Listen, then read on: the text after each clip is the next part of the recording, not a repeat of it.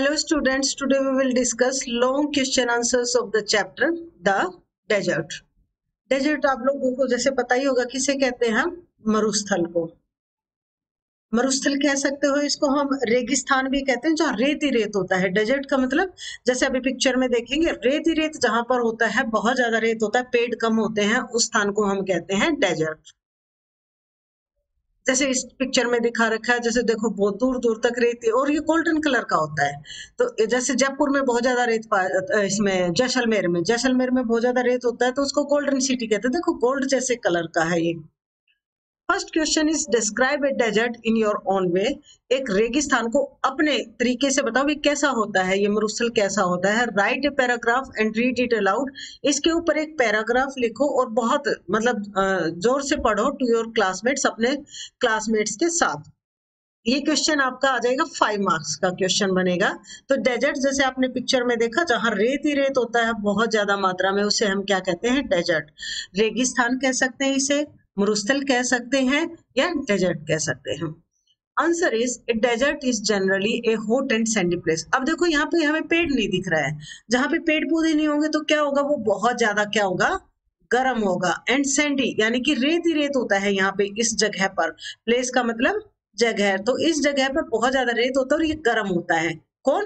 Desert but it can be very cold also लेकिन कई बार क्या है डेजर्ट में ठंड भी होती है। सुना होगा, रात को यहाँ पे बहुत ज़्यादा ठंड हो जाती है। It can even be covered with snow कई बार जो रेगिस्तान होता है, उसमें बर्फ़ भी पड़ती है। मतलब रेयर होता है। रेयर का मतलब बहुत ज़्यादा दुर्लभ होता है। मतलब आमतौर पे नहीं होता है।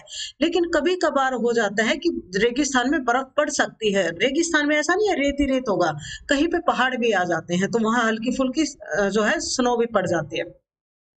There is either no rainfall और very little rainfall in a desert रेगिस्तान में या तो बारिश होती ही नहीं है रेनफॉल मतलब वर्षा या तो वर्षा होती ही नहीं है या होती है तो बहुत ही कम वर्षा होती है sorry thus a desert is hot इसीलिए रेगिस्तान क्या होता है गर्म होता है ड्राई ड्राई का मतलब क्या होता है सूखा सूखा होता है वाटरलेस पानी नहीं होता है यहाँ पे, पानी की कमी होती है। एंड शेल्टरलेस प्लेस यानी कि यहाँ पर हम आश्रय नहीं ले सकते। शेल्टर का मतलब जैसे हम पेड़ के नीचे बैठ जाते हैं ना, ऐसे पेड़ के नीचे, ठंडे के लिए बैठ जाते हैं तो ये यहाँ पर नहीं होगा। आप रेगिस्तान में जाओगे तो दूर तक रेत ही रहते बैठने की जगह नहीं है।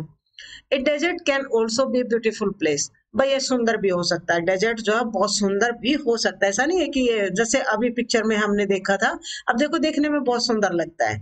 और कहीं कहीं अगर इस रेगिस्तान में कहीं पेड़ आ जाए तो बैठ के वहाँ मज़ा भी बहुत आता है।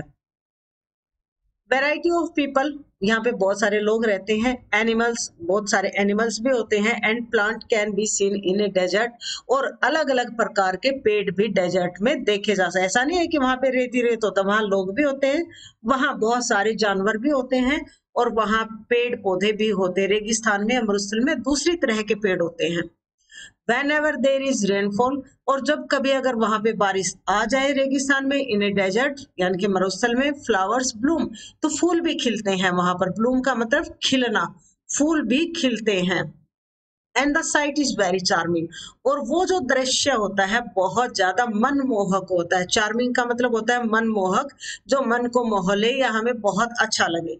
इन हॉट डेजर्ट और जो गर्म रेगिस्तान होते हैं camel is the most useful animal वहाँ पे ऊँट जो होता है, वो बहुत ज़्यादा लाभकारी एक पशु होता है। It is called the ship of the desert और ऊँट को हम क्या कहते हैं? रेगिस्तान का जहाज़ कहते हैं। रेगिस्तान का जहाज़ किसको कहते हैं? ऊँट को।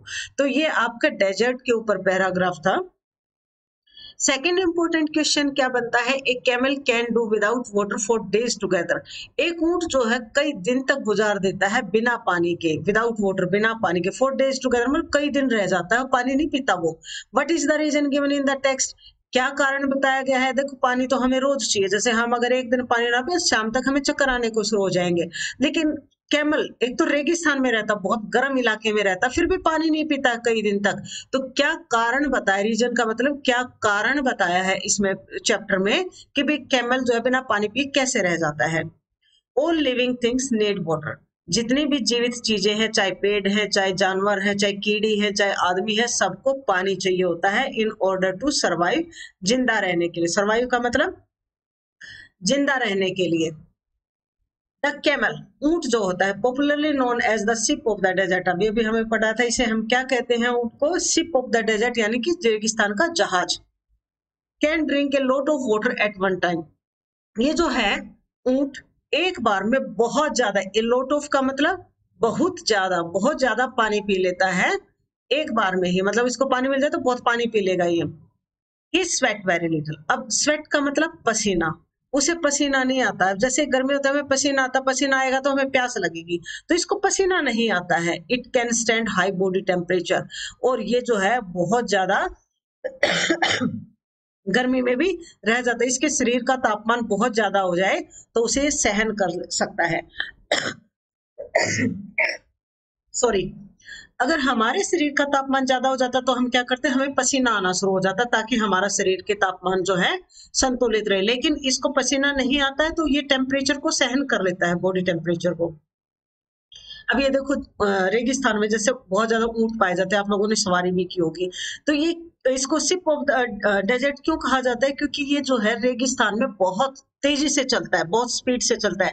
रेगिस्तान में रेत में हमें पैर से नहीं चल सकते हम मतलब पैर रेत में धस जाते हैं तो हम ग्रिप नहीं बनती है और हम बहुत लेट चल पाते हैं, हमें चलने में दिक्कत होती है। लेकिन ये बहुत स्पीड से चलता है, ऊँट भाग मतलब गाड़ी की स्पीड से चलेगा। इसीलिए इसे हम क्या कहते हैं? Ship of the desert that is why a camel can do without water for days together क्योंकि इसको स्वेट नहीं आता है इसे पसीना नहीं आता है, इसीलिए ये कई दिन तक बिना पानी पिए रेगिस्तान में रह सकता है, इसीलिए इसको सिप ऑफ़ द डेजर्ट कहा जाता है। वीडियो अगर अच्छी लगे तो प्लीज़ इसे लाइक ज़रूर करना, कमेंट करके ज़रूर बताना आपको वीडियो कैसे लगे, अपने दोस्तों के साथ शेयर करना, चैनल पर नए हो तो प्लीज़ चैनल सब्सक्राइब करना वीडियो देखने के लिए, धन्यवाद।